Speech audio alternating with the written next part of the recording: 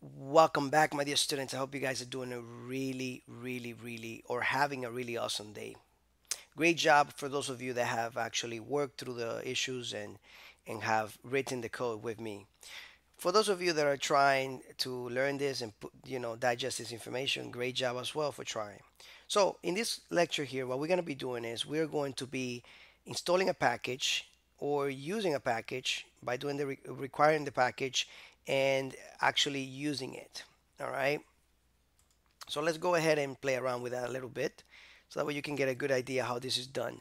So in the last lecture, we saw how we were able to install some packages and we did install Axios, if I'm not mistaken, which is right here, okay, in the node_modules folder.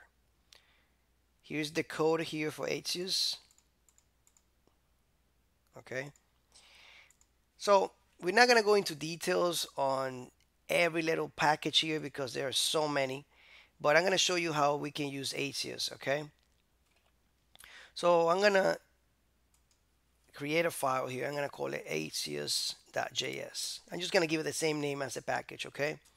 So the first thing that we need to do is we need to come here and require it. Simple as that.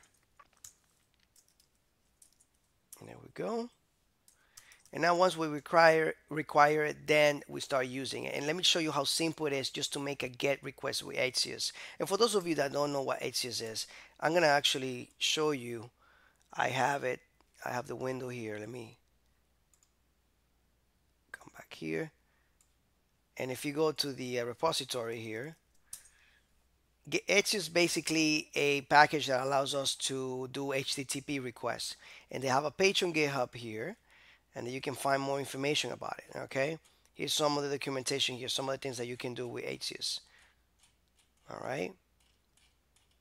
Super simple. But look what we got here. We got the get delete head options post put and patch okay a lot of stuff is supported here from the request so anyway what I'm gonna do in this lecture here and this is a very simple uh, thing to do is we're going to make a request to a GitHub page. We're going to pull information from a user, a public public information, of course. We're not hacking into anything yet. And I say yet because maybe in the future I'll show you how to do some things like that. I'm just joking, joking, guys. Come on. Anyway, so um, I'm going to start using the package here. I'm going to make a GET request. And we want to make a GET request to HTTPS. And yes, you didn't see me typing in the um, getting that module because Axios allows us to make any type of request we want, either HTTP or HTTPS. It would detect it in the background. Okay, it's really cool package. So we're gonna hit the API of GitHub and we want the users and but we want to actually create a user let's create a variable here and I'm just gonna type in the username. I'm just gonna put Edwin. Okay, that's not me. That would not be my profile. I wish I had that name, but I don't. So this user, this is a user in the GitHub repository that we are gonna get information from about. So you can type in any name you want. If you already have a GitHub account, go ahead and feel free to type in your name or your username. All right, once we have that, then we are going to get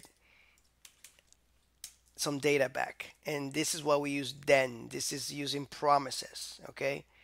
So then we get we get a function here, it's a callback function, and we're gonna get the response. Simple as that. A promise is basically information that we are promised to get back. Okay? That's what promises are in short. Now, like I said before, I have a ES6 course and that will give you some more information about promises or you can look it up. We're not going to dig too deep into promises now because this lecture is about Axios and how we can use a package that we just installed in our application.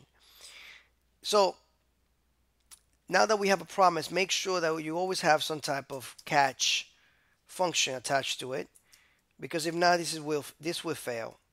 Here we have another callback with an error back okay and here I'm just gonna console I think back in the days, you didn't have to attach a catch, um, some type of error or anything, error handler.